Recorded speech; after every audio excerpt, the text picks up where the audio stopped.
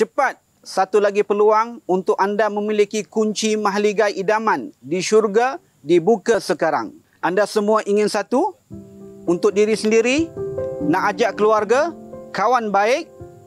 Ayuh, ajak semua kita ambil peluang ini miliki kunci untuk tinggal di dalam mahligai syurga Allah kelak.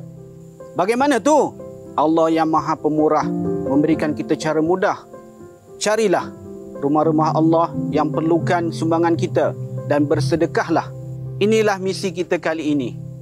Ayuh bersama-sama merealisasikan impian penduduk Kampung Batu Sembilan Kebun Baharu khususnya karya Nurul Syam untuk membina surau At-Takarub dengan segera. Kenapa tuan-tuan? Sebab mereka di sini perlukan sebuah surau baru untuk menggantikan surau lama yang dianggarkan menelan kos 1.3 juta sahaja. InsyaAllah tuan-tuan, kita bina rumah Allah di dunia, Allah bina mahligai untuk kita di akhirat kelak.